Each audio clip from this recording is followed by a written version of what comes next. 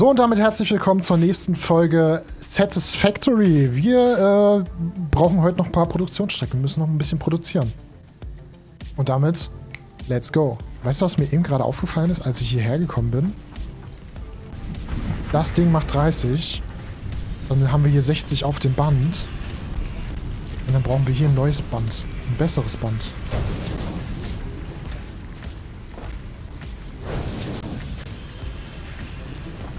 Sonst läuft das nicht. Sonst löppt der Lachs nicht hier. Hier wir kommen ja dann zweimal 60, einfach 120 drauf. Also brauchen wir das MK2-Band mit 120 Ressourcen pro Minute. Ist mir gerade mal so aufgefallen. Ach, Quatsch. Ah, ich habe mich auch hier verrechnet. Egal. ich habe mich auch hier verrechnet. Hier hätte ich eigentlich nur zwei Schmelzer aufstellen sollen, wenn wir 60 pro Minute rausfördern. Egal. Komm. Ich, ich war durch. Ich war durch. Ich bin immer noch durch. Egal. Jedenfalls nutzen wir jetzt hier alles aus der Quelle. So, Kabel lagern wir jetzt, äh, lagern wir jetzt ein. Sehr gut. Äh, jetzt müssten wir uns eigentlich mal an diese, an diese äh, Kupfer, Kupferplatten ranwagen. Dafür brauchen wir eine neue Kupferquelle. Ich nehme auch gar nichts mit. Merke ich jetzt gerade wieder. Ich nehme wieder nichts mit. Aber ich glaube, ich habe genug dabei. So, warte mal. Wo sind wir? Also, wir sind ja jetzt hier auf der höheren Plattform, ne? Ja. Wir haben uns eigentlich gar keine Gedanken zu machen.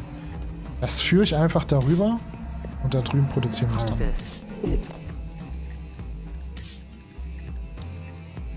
Production.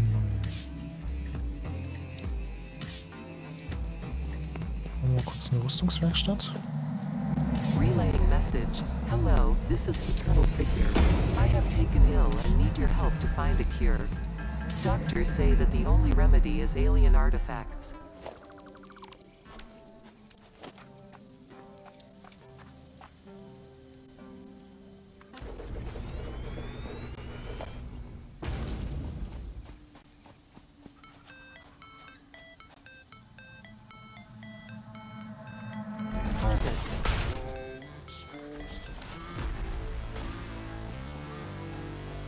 Ist eine, hier ist eine Schnecke. Eine kleine Schnecke. Komm schon. Sehr gut. Und die Schnecke nehmen wir natürlich auch mit.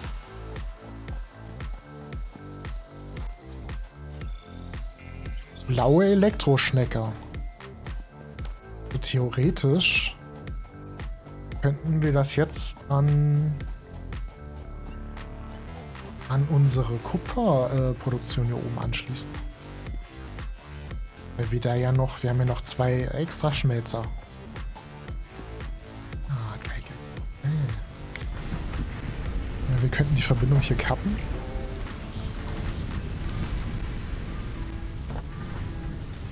Und dann hier ein anderes Gerät anschließen. War ein Splitter in die Richtung.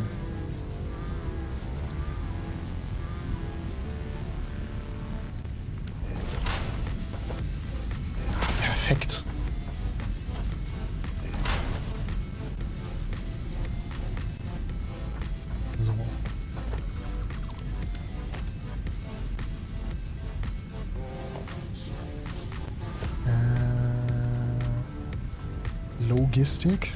Logistik.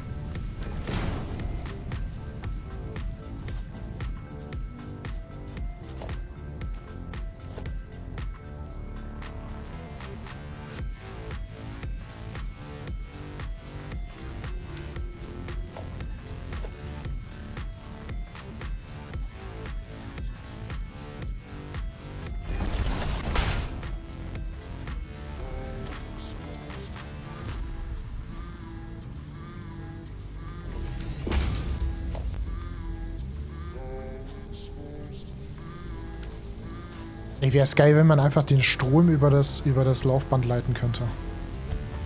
So. Jetzt schmelzen wir ja, jetzt schmelzen wir wirklich 120 in der Minute.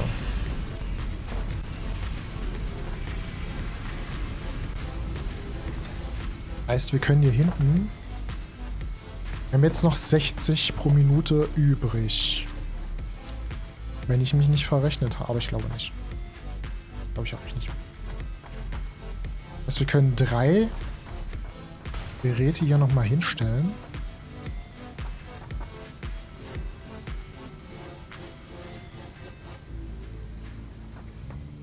Die äh,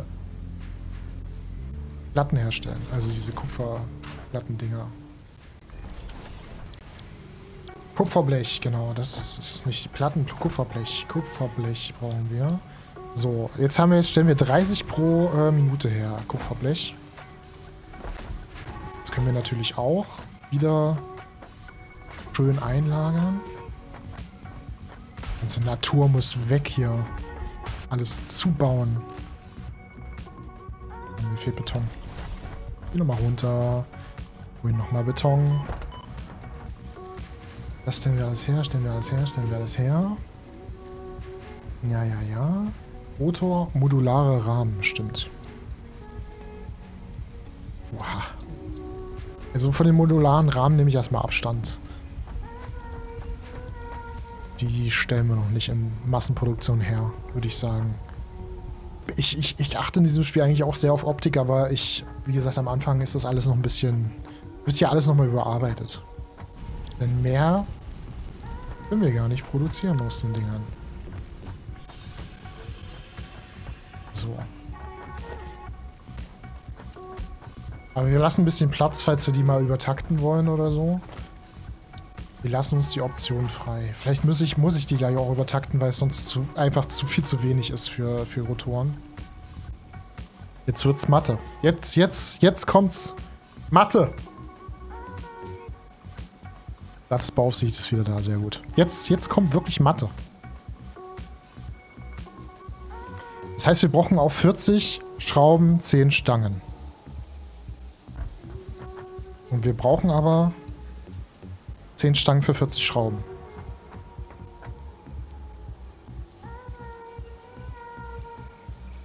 ...60 produzieren wir. 40 bleiben über, wenn wir zweimal äh, Schrauben machen. Dann haben wir, haben wir 80.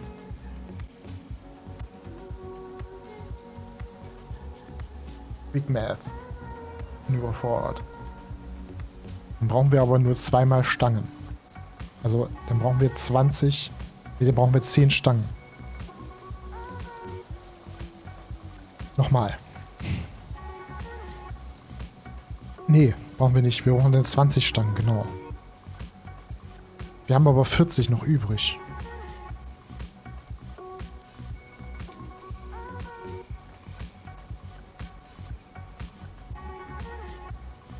Brauche einen Zettel. Ich muss mir das jetzt ausrechnen.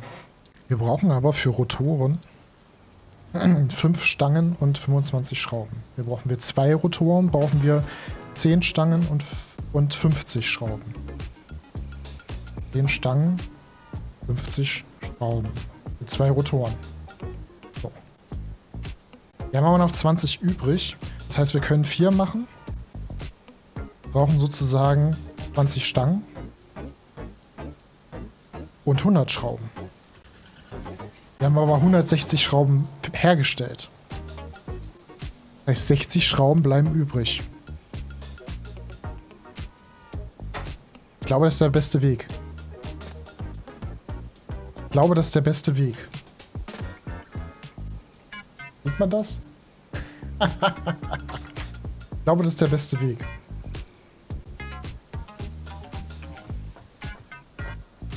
Also was heißt das jetzt für mich?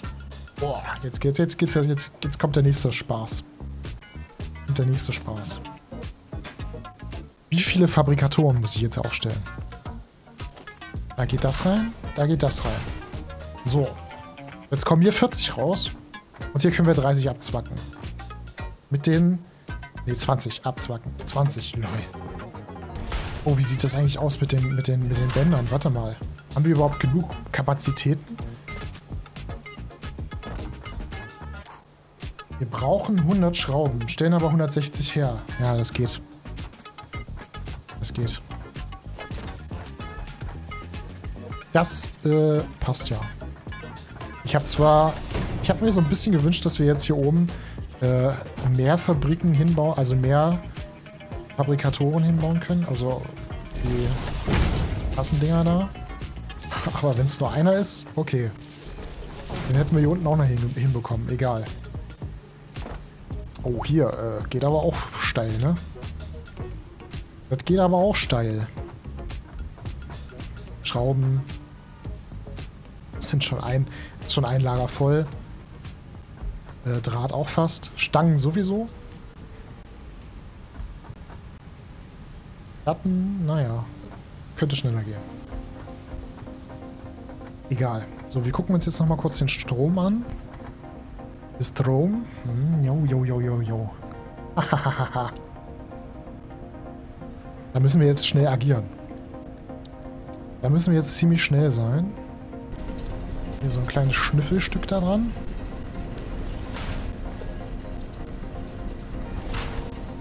Wasser können wir, glaube ich, schon mal anschließen. Glaube ich. Weiß ich nicht. Egal, komm, wir gehen runter.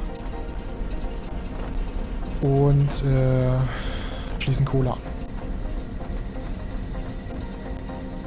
Wir haben ja eine normale Quelle, das heißt 60. So, wir haben eine MK2-Band dran, das heißt, wir können auf jeden Fall noch eine normale Quelle anschließen. Um das Band richtig auszunutzen. Mal, wie viel fasst das Band? Das Band fasst 300. Wir machen jetzt aber, wenn wir jetzt noch einen anschließen, machen wir 360. Das heißt, das Band, das Rohr, meine ich.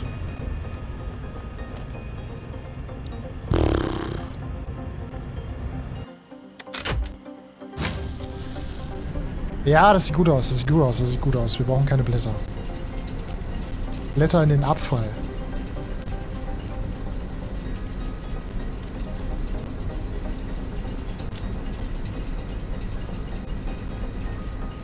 Okay.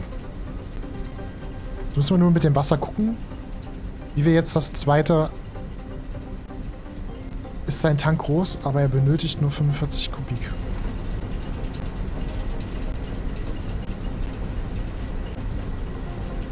Stimmt. Hier, hier unten steht's. LOL. Ich habe immer da hingeguckt, aber hier steht 45. Gut, das ändert alles. 90, 180 plus 90 sind 270. Oder? Ja. 270 Kubik. Gut. Ich werde aber jetzt erstmal gucken, äh, ob wir aus dem Lager heraus, das was wir jetzt an Produktion haben, ob wir da, da müssten wir eigentlich schon vieles äh, wieder freischalten können. Das da oben noch nicht, Phase 2, das könnten wir aber auch angehen. Ähm, das Einzige, was wir jetzt noch nicht produzieren, was wir produzieren könnten, sind verstärkte, sind, nee, sind äh, modulare Rahmen, genau, modulare Rahmen. Ja, na klar, klar wird es voll. Klar wird es gebraucht. Also äh, voll darf es nie werden. Das ist ja der große Fehler. Der, es darf ja nie, äh, die Produktion darf ja nie stillstehen. Wir müssen auch alles verbrauchen können. Oh ja, wir haben ja hier noch eine Platte. Oh, sehr gut. Gussschrauben, die wollte ich haben. Die sind sehr, sehr wichtig. Sehr, sehr wichtig. Eisendraht, nee. Alternativ nasser Beton ist nachher auch wichtig, aber die Gussschrauben sind ja wohl das Wichtigste dass man einfach diesen Platten, äh, diesen, diesen, diesen Schritt überspringen kann, dass man, dass man äh, Stangen herstellt, ist schon mega nice. Das wird für die nächste Produktionsstrecke, wo wir dann wirklich äh, wieder verstärkte Platten verstärkt brauchen. Also, als, als ob das irgendwer noch gebrauchen kann hier. Also das können die auch wirklich... Ich, ich, ich sag's wie es ist, das können die auch wirklich aus dem Spiel streichen. Sprungflächen und Landepads. Seit wir, also klar, damals, als man äh, noch keine Hypertubes hatte, habe ich tatsächlich Sprungtürme gebaut, um irgendwo hochzukommen. Da habe ich automatisch Sprungtürme gebaut, wo du wirklich nur zack und dann bist du gesprungen auf das nächste, auf das nächste, auf das nächste und dann oben gelandet irgendwo. Da war das wirklich useful. Aber jetzt, seit wir Hypertubes haben, äh, baue ich keine Sprungtürme mehr. So, das war's auch schon wieder mit dieser Folge Satisfactory. Hat mir wieder sehr, sehr viel Spaß gemacht. Wir werden beim nächsten Mal, das sind wir heute nicht ganz zugekommen, ähm, den Stahl verarbeiten. Da hinten. Ich habe da schon gesehen, da ist eine Eisenquelle, da ist eine äh, Kohlequelle. Da können wir richtig schön viel Stahl machen. Und äh, dann werden wir vielleicht die Phase 2 vom, vom, vom Lift abschließen können. Mal sehen, ich produziere jetzt schon ein bisschen was vor. Ich wünsche euch eine schöne Woche, ein schönes Wochenende, je nachdem, wenn ihr das Video schaut. Macht's gut, bis dann. Ciao.